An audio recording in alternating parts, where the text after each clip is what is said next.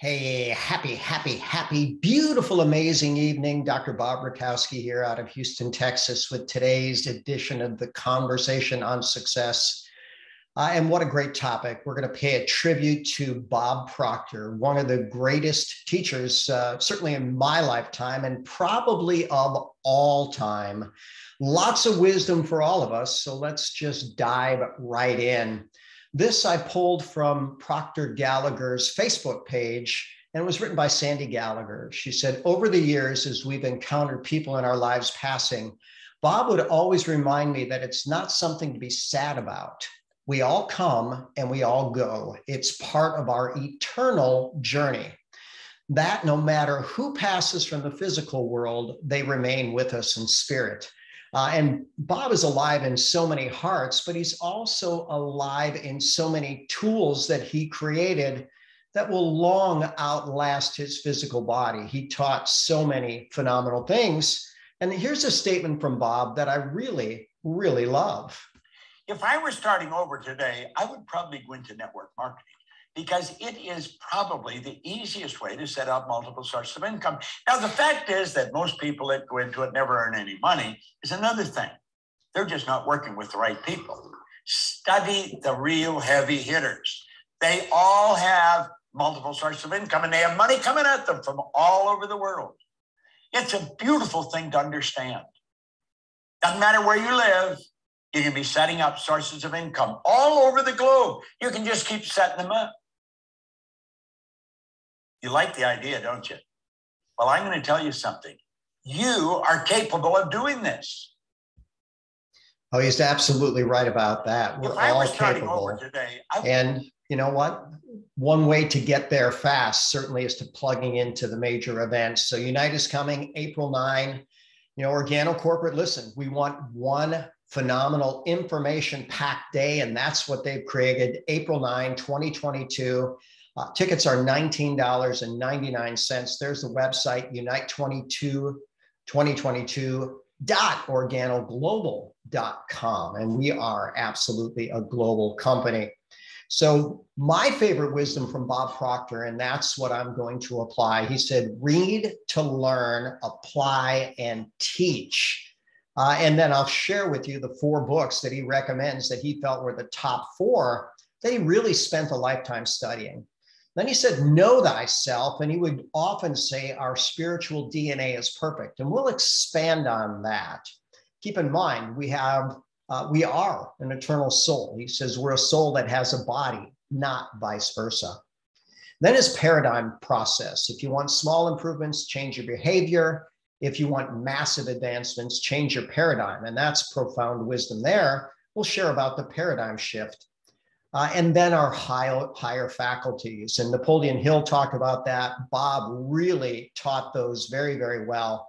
And when we develop our higher faculties, we can think and grow rich. And then he also wanted us to know that there are natural laws that govern the universe. So here was his four recommendations. His book, You Were Born Rich, Think and Grow Rich, The Science of Getting Rich, uh, and then Infinite Power. So Bob has a chapter in You Were Born Rich called The Razor's Edge. And very, very simply, the difference between the ultra successful and the average is typically in consistent small improvements, just a little bit each day, a little bit each day. Uh, and that compounds magnificently. From Think and Grow Rich, his favorite quote was Persistence is to the character of a man as carbon is to steel. Uh, and so persistence makes a man strong in the pursuit of his process of thinking and growing rich. I'm going to go to Earl Nightingale here about persistence. He says, Men credited with all kinds of ability, talent, brains, and know how, including the ability into the see, see the future, frequently have nothing more than the courage to keep everlastingly at what they set out to do. They have that one great quality that is worth more than all the rest put together. They simply will not give up. They persist, in other words. When a man makes up his mind to do something, then it's only a matter of time. Staying with his staying with time takes bulldog persistence. This seems to be the entrance examination to success, lasting success of any kind. Uh, and there it is. And I always think of Muhammad Ali when he was fighting uh, George Foreman. Uh, and you know what? He let Foreman beat him up till he got tired, quite simply.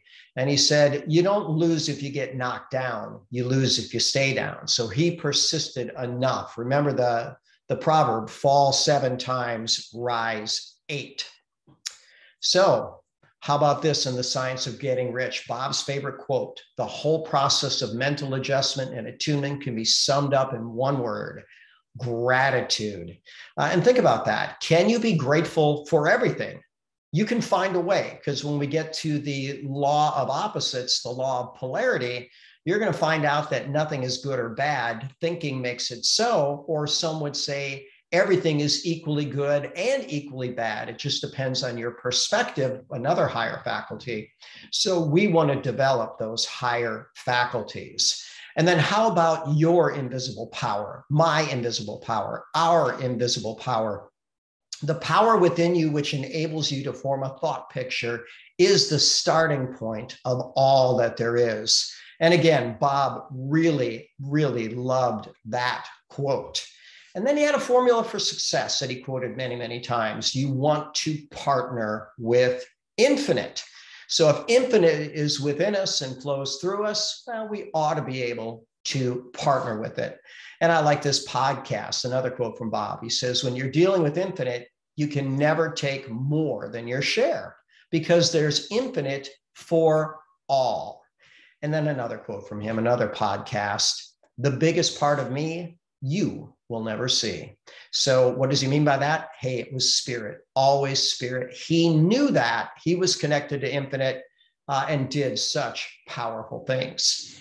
But he liked to study both science and theology. He said, you know, they, they really were not in opposition. Theology or the study of God was the study of cause, and science was the study of effect. So this is Tom Chi. He's got a TED talk. Everything's connected. Here's how.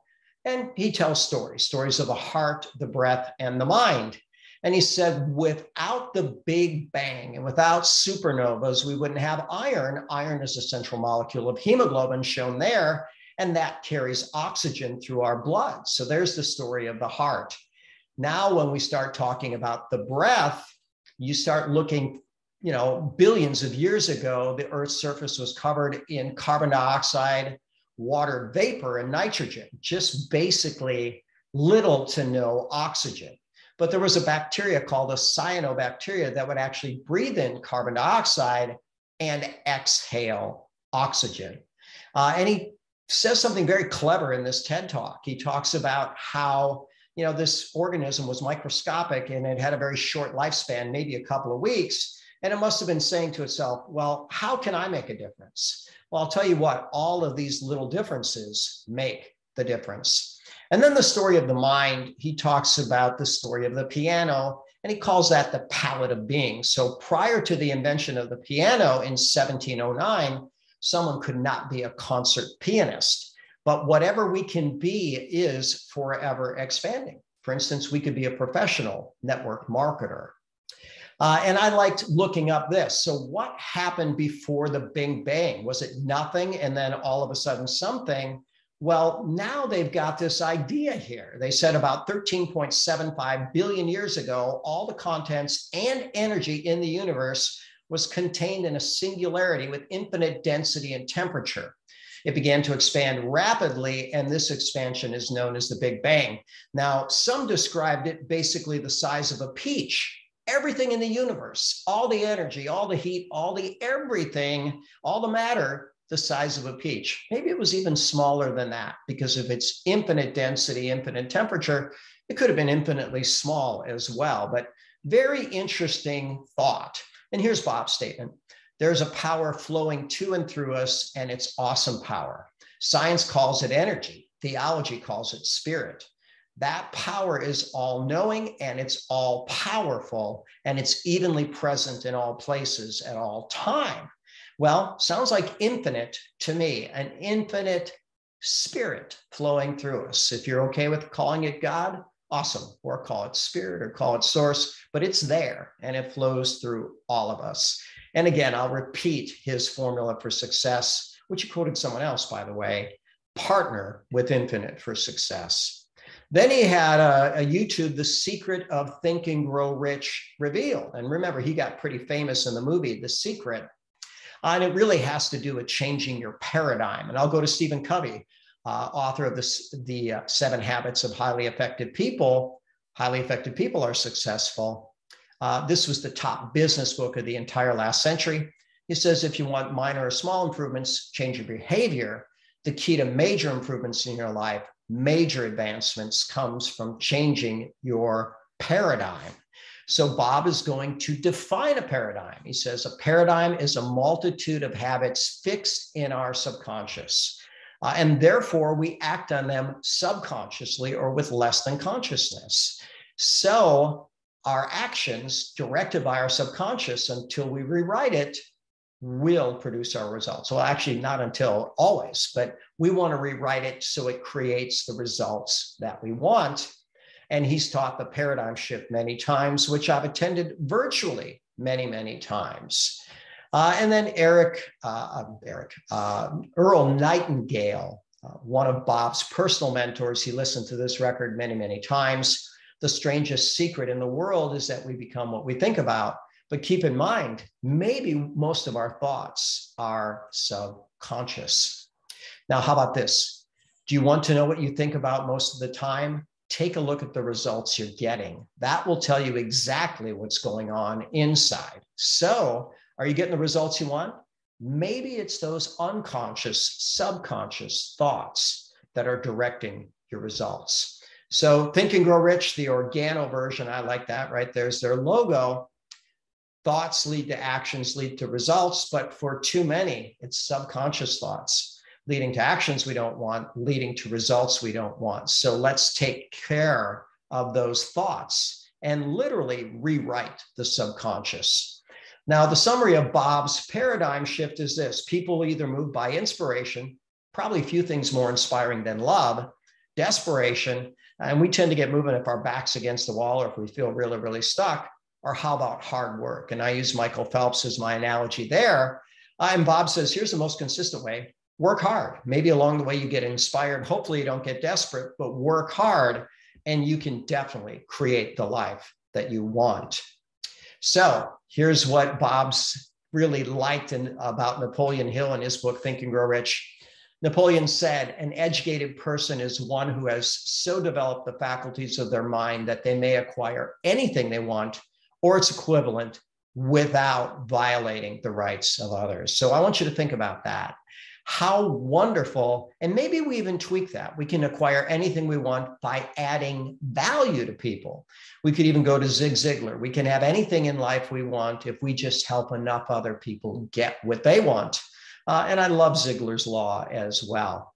Again, another simple summary rich people think differently. They purposely create the subconscious mindset of success. Mastery of this rich mindset will lead to riches. And then Einstein had to pipe in on it. We cannot solve our problems with the same thinking we used to create them, or Bob Proctor would say, with the same paradigm that we create them. So rewrite that paradigm. And this is worth repeating. Do you want to know what you think about most of the time? Take a look at the results you're getting. That will tell you exactly what is going on inside uh, and Bob was very famous for this uh, stick person. Uh, and he says, you know, ask someone the color of their car, they can tell you. Ask them to describe their refrigerator, they can tell you. Ask them to describe their mind, and they're often at a loss. He says, no one's ever seen the mind. The mind is a process. And by the way, he also says there's one mind, that universal mind, that spirit mind that we all have access to when we access and develop our higher faculties. But ultimately, he talks about how your conscious thoughts become an idea, the idea becomes an emotion, it, the emotion is expressed through the body, and that will create our results. Now, what if you selectively programmed your subconscious mind. Uh, and Bob was a huge fan of affirmations. He started with gold cards that he carried in his pocket, and he still does. But he also taught to write with your opposite hand. I'm in, I'm so happy, happy and grateful now that I am. And this was when he taught how to make a million look small. I am earning a million dollars a year. That truth is clearly imagined in my conscious mind. It is effectively planted through constant spaced repetition in my subconscious emotional mind. Therefore, it is presently moving into physical form. I would encourage you to screenshot that and put in whatever your goal is. It's definitely worth doing, writing every day with your opposite hand. And he loved this from Thomas Troward, one of his uh, favorite authors. My mind is a center of divine operation. The divine operation is always for expansion and fuller expression. And this means the production of something beyond what has gone before, something entirely new, not included in past experience, though proceeding out of it by an orderly sequence of growth. Therefore, since divine cannot change its inherent nature, it must operate in the same manner in me, consequently, in my own special world of which I am the center. It will move forward to produce new conditions, always in advance of any that have gone before. So keep in mind, your mind is a center of divine operation, if you allow it to be, if you train it to be, might be a better statement there. Earl Nightingale's strangest State secret, you become what you think about. And then he went on to say, most people don't think. In fact, he said, uh, you know, 95% really don't think. 2% of people think that they, uh, sorry, 2% of people think, 3% think that they think, 95, no way. We are all creatures of habit. We can do most things without even thinking about them. Our bodies take charge and do them for us. The body is basically the servant of the mind. So we want our mind to work really, really well. Uh, I'm a fan of Sadhguru. Uh, watch how your habits ruins your life without you even knowing it. And here's what he says our habits are basically unconscious, subconscious, and he's a big fan of being conscious in everything. Consciously take control of your mind, your actions, consciously apply universal laws, and the world is yours. I also like this quote God is the creator, not a manager. Humans have the privilege of managing their own lives. So, how wonderful is that? He also goes on to say that Charles Darwin says it took 1 million years to change a monkey into a human. But he says, look at us. Within four hours of eating a banana, we turn a banana into a human. So, how wonderful is that? And how fascinating is that? So, here's what he said The creator is definitely working within all of us. And this quote the source of creation is within you you can be just a piece of flesh or you can be the creator himself. This is the choice and the potential you have. Now, keep in mind, we are part of the creator. We can't do all that the creator does because we're a minuscule fraction, but we're given the ability to create. So, how wonderful and powerful that is. And how about Einstein? He said everything is energy, and that's all there is to it match the frequency of the reality you want, and you cannot help but get that reality. It can be no other way. This is not philosophy, this is physics. And then we'll say it again the subjective mind is entirely under the control of the objective mind. With the utmost fidelity, it reproduces and works out its final consequences, whatever the objective mind impresses upon it. But then Bob Proctor would simply say, and many psychologists agree, that uh, subjective mind is not really developed for about the first six, maybe seven years of life. So it's very important that that early environment create an amazing paradigm for the children in it. And I'll even go to Carl Jung. Until you make the unconscious conscious, it will direct your life and you will call it fate. Uh, and low level of, of, brain activity, about 5% is conscious, maybe 95% subconscious. And then Bob's higher faculties, and I threw in one Uh, he talked about will, intuition, imagination, memory, perception, reason, but I threw in focus. He grouped focus under will, uh, and I'll show you where I believe that is absolutely different. So we look at Babe Ruth, who said, You can't beat the person who never gives up. And I talked about Ali. He wouldn't give up. He beat George Foreman, although George Foreman was a much more powerful fighter. When we start looking at intuition, notice that it comes from direct or immediate uh, spiritual perception. So, insight, spiritual perception is in the definition of intuition. And I like this quote Men who are devoid of the power of spiritual perception are unable to recognize anything that cannot be seen externally. So, you know, our imagina- imagination also is going to play into that. About intuition, Einstein said this the intuitive mind is a sacred gift, and the rational mind is a faithful servant. We have created a society that honors the servant and has forgotten the gift. Another favorite quote of Bob Proctor. And I throw in this one logic can get you from A to B, imagination will take you everywhere.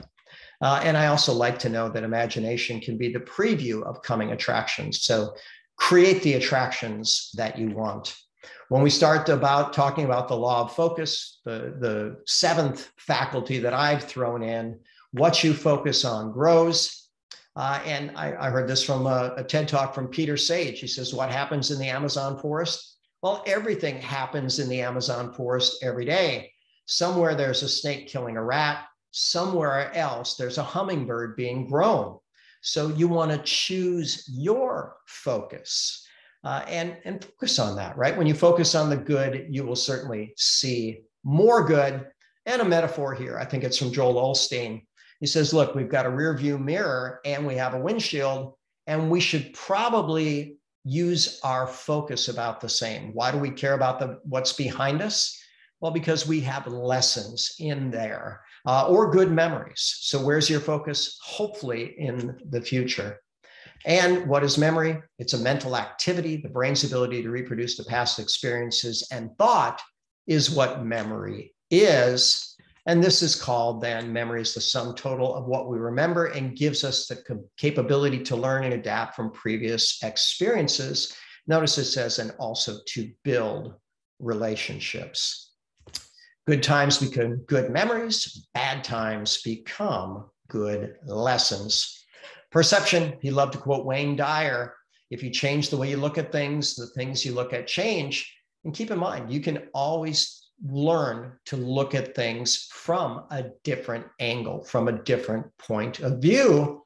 Uh, and then the Pygmalion effect. This just basically says that you can pass on your well wishes to other people.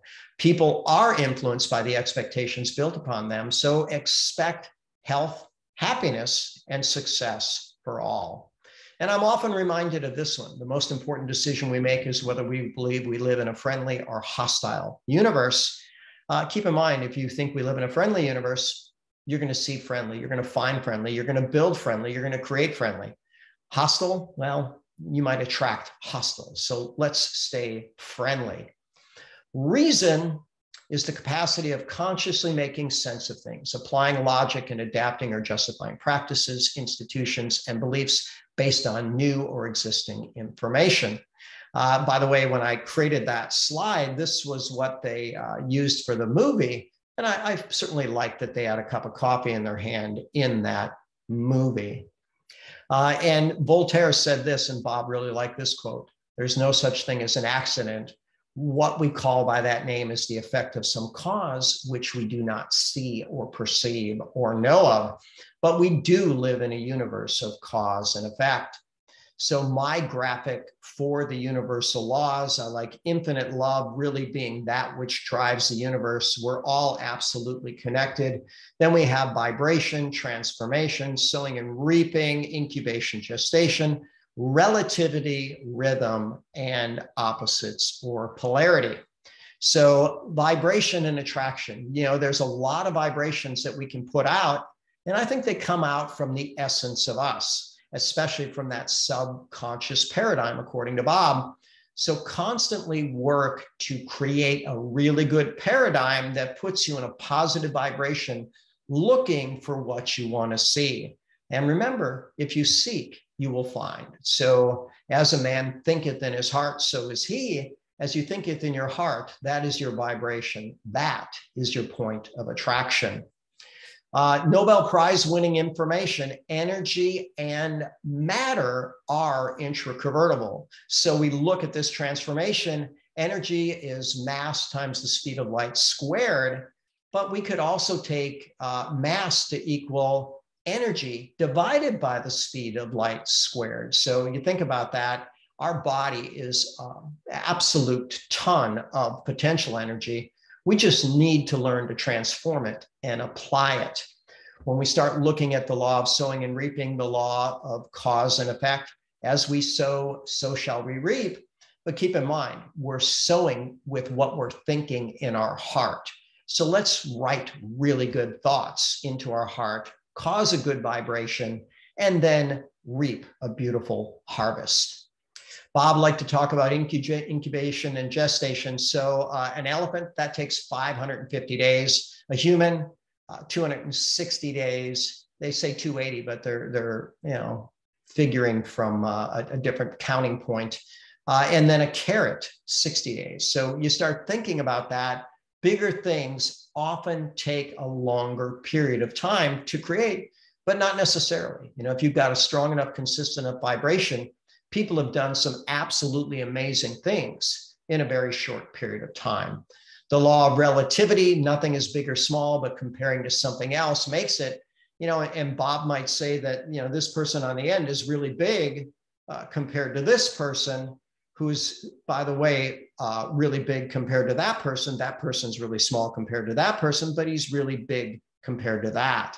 So, you know, then you often would say nothing is good or bad. Thinking makes it so uh, nothing is big or small. Comparing it makes it so. So, relatively, literally everything is relative, even the laws, and the laws all work together. Then we have rhythm. There are seasons of life. There are certainly seasons of nature. The tide comes in, the tide comes out, the sun comes up, the sun comes down. It's a very predictable rhythm. How long's it been going on? Since the beginning of time. Will it happen that way tomorrow? It absolutely will you know, there is a rhythm of life. And then some call it polarity, some call it the law of opposites. I like to think of complementary synergy. Uh, and really, that's what the symbol of yin and yang is. And keep in mind, nothing is purely yang. There's some yin in it. Nothing is purely uh, yin. There's some yang in it. And together, the two can be very, very complete. So it's good to look for complementary opposites, especially those that have skills uh, and things that you want to need, but don't necessarily uh, have those skills that you've developed. We can create a phenomenally diverse team that can help us grow wonderfully. So, the Bob Proctor wisdom read to learn, apply, and teach, which he did so well. He was definitely a rags to riches story. Know thyself, our spiritual DNA is absolutely perfect. Uh, and you know, we're part of that source energy, of that God energy that made the universe. And therefore, God's energy works within us uh, if we allow it to. Re- remember, so God is the creator, man is the manager. Uh, when we optimize our higher faculties, that would be will, you could also call that perseverance, intuition, imagination, focus, memory, perception, uh, and, and reason then we can think and grow rich more effectively. And then we have the natural laws of the universe cause and effect, rhythm, relativity, the energy of attraction, uh, the concept of transformation, polarity. Uh, those are all the things that are going to keep us, an incubation, gestation, working with the law Unite Again, April 9th, 2022, a one day uh, outstanding event. Tickets are on sale now. Go to unite2022.organogold.com. Uh, and I'm going to finish with this regarding Bob. Here's what he said. Over the years, we've, been, as we've encountered people in our past lives passing, Bob would always remind me that it's not something to be sad about. We all come, we all go, and that's part of our eternal journey. That no matter who passes from the physical world, they remain with us in spirit. So, Bob, you certainly do. You're in my heart, you're in my mind. You've taught me many great things, uh, and I'm forever grateful. You made a difference to millions. Congratulations on a life well lived.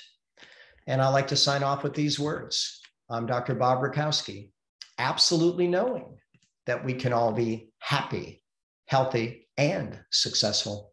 So, good night, all, and God bless.